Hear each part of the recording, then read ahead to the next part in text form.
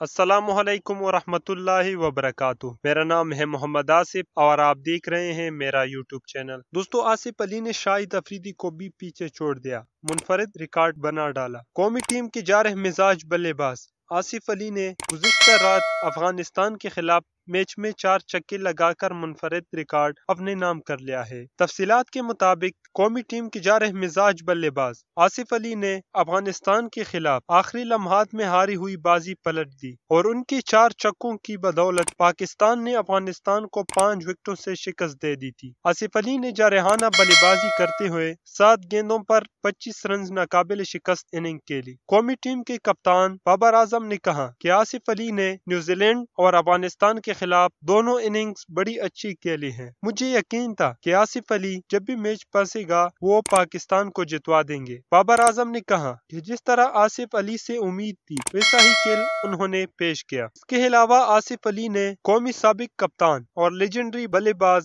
شاہد خان افریدی کا ریکارڈ توڑ دیا ہے۔ آصف علی نے یو اے ای میں باسٹھ چکے لگائے ہیں، جبکہ بوم بوم افریدی نے چپن چکوں کے ساتھ تیسرے نمبر پر ہے۔ کمران اکمل نے انسٹھ بار گیند کو باؤنڈری لائن کے پار پہنچانے کی باحث دوسرے نمبر پر براجمان ہے۔ دوستو، اگر آپ کو ویڈیو اچھی لگی ہو تو پلیز چینل کو سبسکرائب کریں اور ویڈیو کو لائک اور شیئر کریں۔ شکریہ۔